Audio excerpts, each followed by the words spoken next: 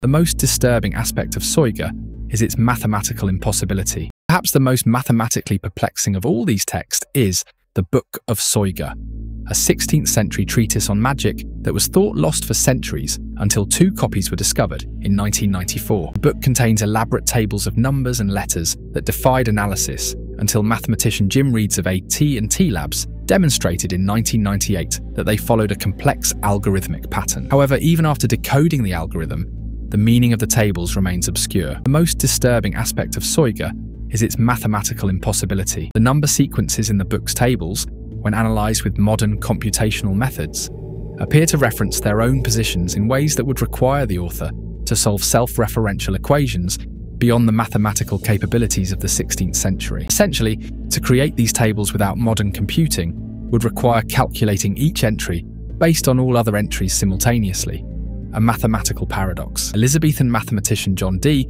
spent years trying to decipher the book, claiming that an archangel told him the tables were based on knowledge that predated human civilization. While such claims might normally be dismissed as mystical hyperbole, the mathematical anomalies in the text have led some modern analysts to suggest that the book's structure might represent what cryptographers call a one-time pad, an encryption system that uses a pre-shared key. The problem was, one-time pads weren't invented until the 20th century, and the mathematical principles they rely on weren't formalized until the late 19th century. Yet the Book of Soyga appears to implement a similar system four centuries earlier.